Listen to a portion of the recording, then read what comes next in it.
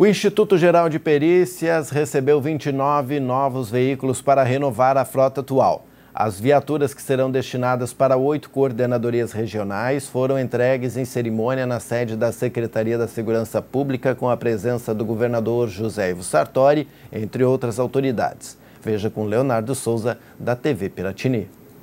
O Instituto Geral de Perícias recebeu 29 novos veículos para renovar a frota atual. As viaturas, que serão destinadas para oito coordenadorias regionais, foram entregues em cerimônia no pátio da Secretaria da Segurança Pública, com a presença do governador José Ivo Sartori, entre outras autoridades. Essas viaturas, é, algumas delas são 4x4 para as regionais. Então, alguns locais que nós temos dificuldade de acesso, são terrenos é, de chão batido, alagadiços. Né? Tem que ter uma, uma, característica específica, alguns exames, por exemplo, de veículos, nós temos que carregar alguns equipamentos e alguns reativos fora da viatura, que são essas viaturas 4x4 que estão aqui. Os veículos serão utilizados em ocorrências de difícil acesso e demais atendimentos do Instituto.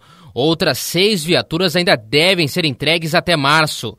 O investimento é resultado da segunda fase do Plano Estadual da Segurança Pública. É um ato singelo muito simples daquilo que deveria ser a normalidade, mas diante das dificuldades que todos nós vivemos e que conhecemos, nós sabemos que aquele pouco que está sendo feito está, feito, está sendo feito com muita alegria, com muita disposição e fazendo, às vezes, além do que podíamos fazer.